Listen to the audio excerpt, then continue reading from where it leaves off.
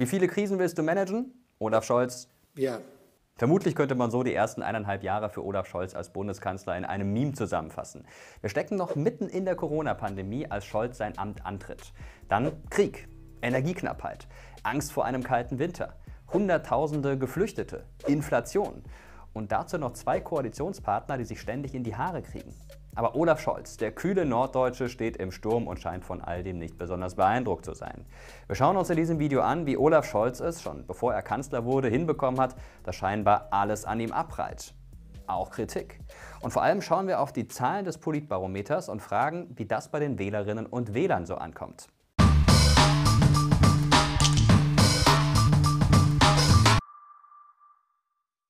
Polytetrafluorethylen auch bekannt als Teflon. Damit beschichtet man Pfannen, damit Spiegeleier nicht anbraten oder Jacken, damit der Regen daran abperlt. Kurz, eine Anti-Haftbeschichtung, an der nichts kleben bleibt, egal wie hartnäckig es ist. Schon seit ein paar Jahren verwendet die Presse die Metapher Teflon-Scholz, dann auch für Olaf Scholz. An ihm scheint auch vieles einfach abzuperlen. Selbst Markus Lanz gab einmal zu, er habe sich an Olaf Scholz die Zähne ausgebissen, weil der in Interviews immer komplett kontrolliert oder völlig anders antworte als erwartet oder nur ganz kurz und spärlich. So war's. Mir sowas nicht.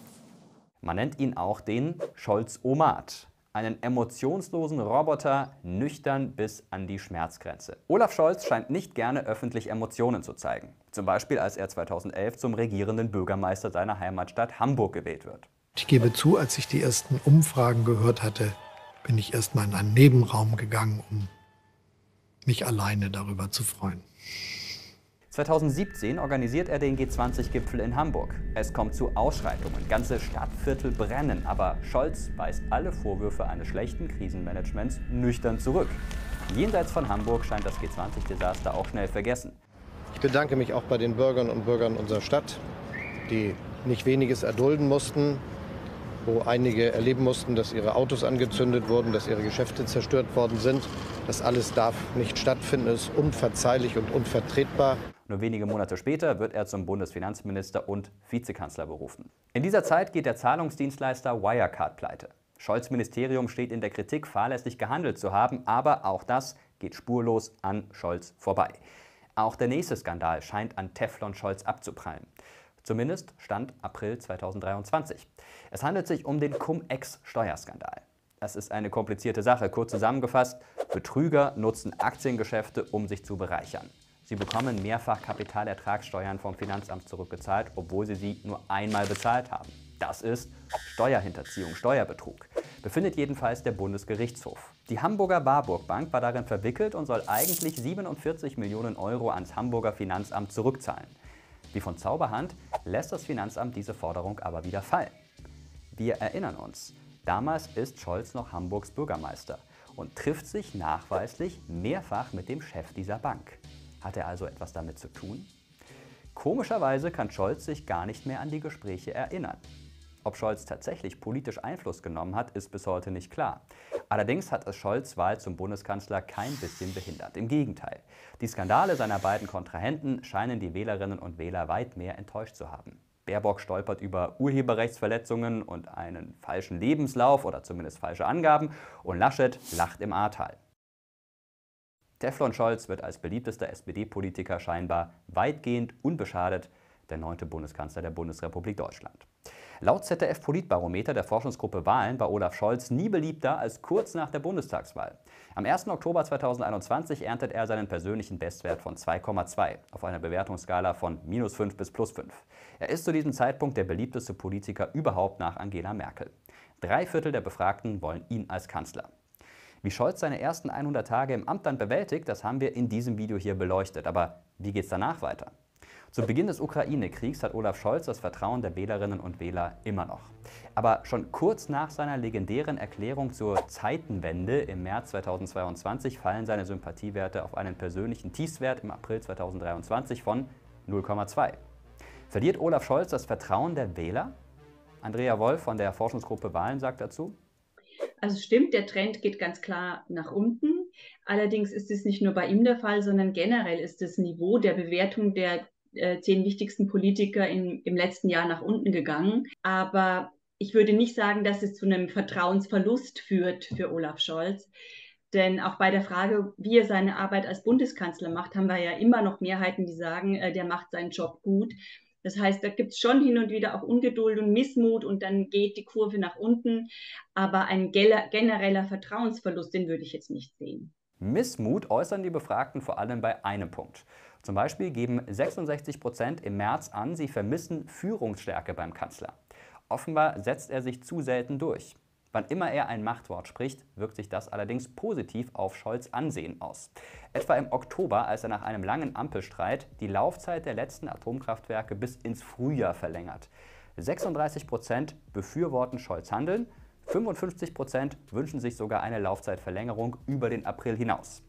Setzt sich der Kanzler in der Ampel also zu selten durch? Müsste er viel öfter den gelben und grünen die rote Karte zeigen? Was für ein Wortspiel. Im März 2023 kommt der Ampelstreit zum Höhepunkt. Grüne Klimapolitik und Heizkonzepte gegen gelbe Autobahnausbauten und Steuererleichterungen. Dazwischen ungerührt der Kanzler, an dem wieder alles abzuprallen scheint, als hätte er damit nichts zu tun. Ganz grundsätzlich meinen 61 Prozent der Befragten im Politbarometer im April 2023, Olaf Scholz setze sich eher nicht durch. Zuletzt sind nur noch 46 Prozent der Befragten mit der Arbeit der Regierung zufrieden. Sowohl bei Scholz als auch bei seinen beiden Stellvertretern wirkt sich das negativ auf die Sympathiewerte aus. Fast drei Viertel der Befragten hält Olaf Scholz außerdem für zu zögerlich. Gerade in Bezug auf die Ukraine wünschen sich die Wählerinnen und Wähler mehr Tatendrang. Schon vor einem Jahr hätten mehr als die Hälfte der Befragten des Politbarometers, 56 Prozent, die Lieferung schwerer Waffen unterstützt dass Kanzler Scholz erst im Januar grünes Licht für die Leopard 2 Panzer gegeben hat, das hat vielen Menschen einfach zu lange gedauert. Aber trotzdem denke ich, muss, wenn diese Entscheidung so getroffen wird, müssen natürlich ganz viele Aspekte mit berücksichtigt werden, die, äh, die ein Befragter bei der Beantwortung dieser Frage natürlich nicht alle im Kopf haben kann. Ja, manchmal wünscht man sich halt, dass diese Entscheidung ähm, vielleicht auch der Entscheidungsprozess besser erklärt wird. Das ist sicher keine Stärke von Olaf Scholz, dass er die Menschen mitnimmt bei seiner Entscheidung. So ist seine Art. Also ich denke, das, äh, das ist etwas, was muss man halt einfach akzeptieren und ein Stück weit ist es halt dann auch authentisch. Aussitzen und aushalten. Irgendwie kommt uns dieser Führungsstil doch bekannt vor, oder? Experten vermuten, dass Olaf Scholz sich von seiner Taktik einen ähnlich langwierigen Erfolg verspricht, wie ihn seine Vorgängerin Angela Merkel von der CDU hatte. Aber auf den ersten Blick scheint Angela Merkel beliebter gewesen zu sein als Olaf Scholz. Ihr Wert lag durchschnittlich bei 1,8, seiner nur bei 1,1, Tendenz weiter sinkend. Laut Andrea Wolf zählt aber nicht nur, dass ein Kanzler beliebt ist, sondern bei wem er beliebt ist. Was äh, beide eint, ist, was ich äh, anfangs auch schon mal angesprochen hatte, dass sie auch von den Anhängern aller anderen, mit Ausnahme der AfD-Anhänger, also bei den Anhängern der anderen Parteien, eben auch positive Werte kommen, also auch da Wertschätzung erfahren. Und ich glaube, das ist noch entscheidender als an der Spitze der Top Ten zu stehen, dass man nicht polarisiert, sondern dass man positiv wirkt, auch in einer breiteren Schicht. Denn das ist ja dann auch die Aufgabe des Bundeskanzlers. Er muss ja dann regieren für alle. Und das ist eigentlich das Wichtigste, das ich äh, sehe bei diesen Beliebtheitswerten.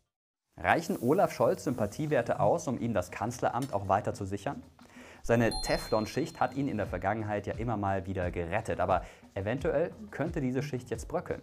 Denn die Union zieht das schärfste Schwert, das die Opposition hat. Sie hat einen Untersuchungsausschuss im Bundestag beantragt. Merz, der CDU-Chef und seine Mitstreiter möchten beweisen, dass Olaf Scholz als damaliger Oberbürgermeister Hamburgs im Cum-Ex-Skandal politisch Einfluss genommen hat. Auf Mitarbeiterinnen und Mitarbeiter in der Finanzverwaltung oder auf Entscheidungen. Wir können gespannt sein, wie sich der Kanzler da durchscholzt, um es mal mit diesem Wort zu sagen. Was meint ihr denn? Wird Olaf Scholz mit seiner Art ähnlich erfolgreich wie Angela Merkel? Oder schreckt euch das eher ab? Schreibt es gerne unten in die Kommentare und hier neben mir findet ihr noch zwei weitere Videos hier von dem Kanal. Da und da gerne klicken. Ich sage danke fürs Zuschauen und bis zum nächsten Mal.